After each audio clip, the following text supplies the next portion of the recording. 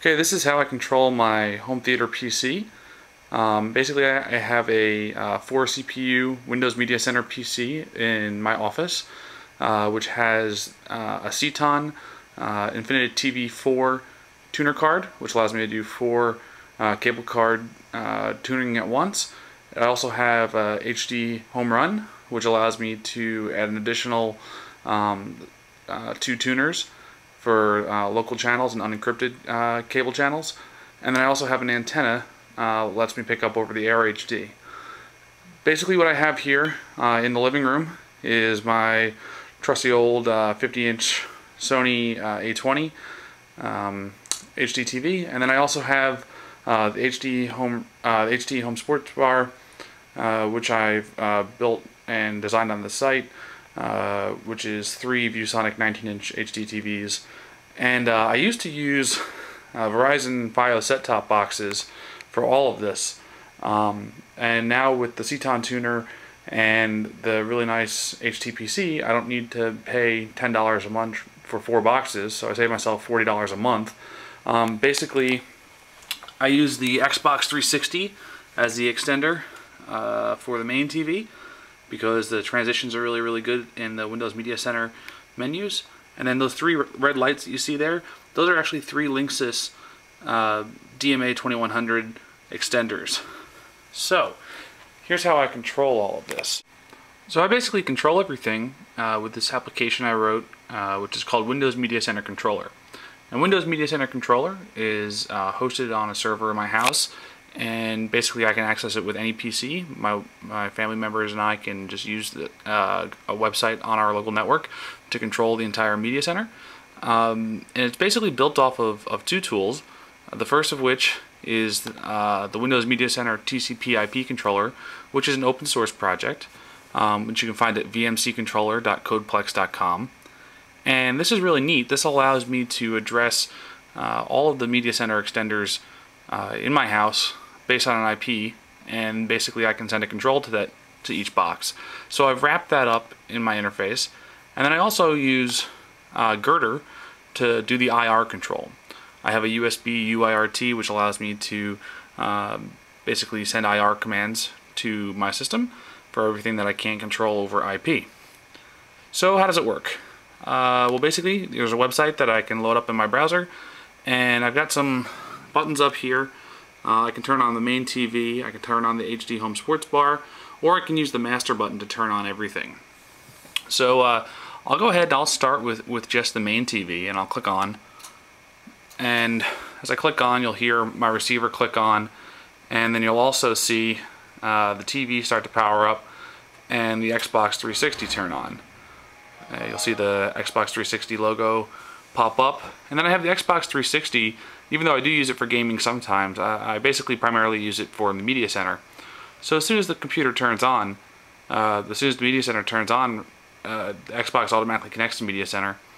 So it's a few seconds to get it up and running, but really not too bad for the experience that you get with media center.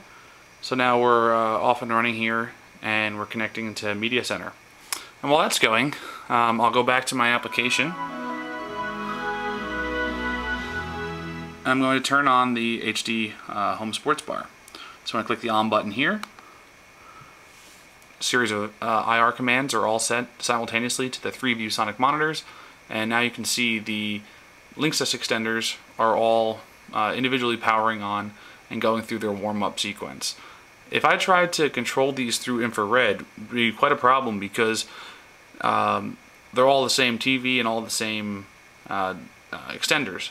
So they all share IR codes. So what this application allows me to do is basically send uh, discrete commands to each one of the extenders and uh, allows me to control them uh, without interfering with the other ones. Now the Linksys extenders do take about 40 seconds to boot up. Um, it's not often that I actually use all three of these CVs, typically only during sports days, so I turn it on in the morning and it's not really a big deal after that. Uh, and also sometimes if someone else in the family is watching a, a show that I don't really care for and, and I want to throw on a, a, game or the news or something like that.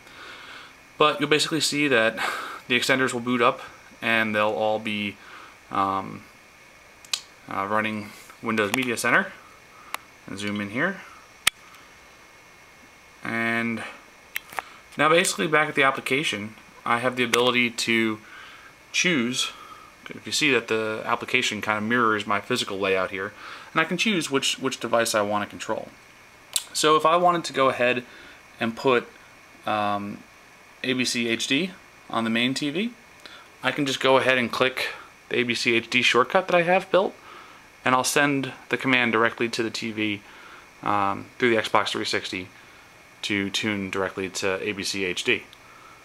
So I click that, and it assigns one of the tuners to ABC HD, and the first time it addresses the tuner, it does take a second to, to tune in, but basically I can uh, start ABC HD there, and we'll hear that.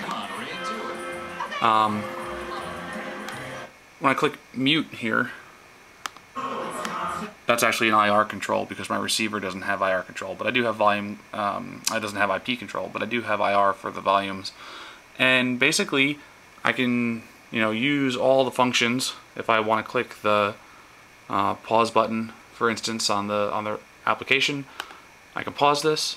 Um, you can see the, the show is paused, and I can use the play button. Um, if I use the green button here to go back to the beginning, I can basically go back to the menu and I just built some simple JavaScript to capture key controls. So if I navigate the arrow buttons here, I can actually navigate and send the commands to to move up on the screen. So I don't need any remote to do any type of navigation and I can you know switch back and forth between using the keyboard if I want to go look at my recorded TV um, or I can use the buttons uh, that are actually here on the remote uh, to navigate through all my menus. And uh, basically that control, uh, there's an active TV, so if I wanted to control over on TV2, um, now the commands, you can kind of see, uh, will be moving TV2 rather than moving TV1. Its menus around. So on TV2 I can go ahead and uh, fire up ESPNU, I'll go down to TV3 and um, fire up a station on there. I'll do one for um, TV4 as well. So you can see TV2 is getting the command to go to ESPNU. I'm going to put TV3 on ESPN2 and then I'm going to put TV4 on ESPN New.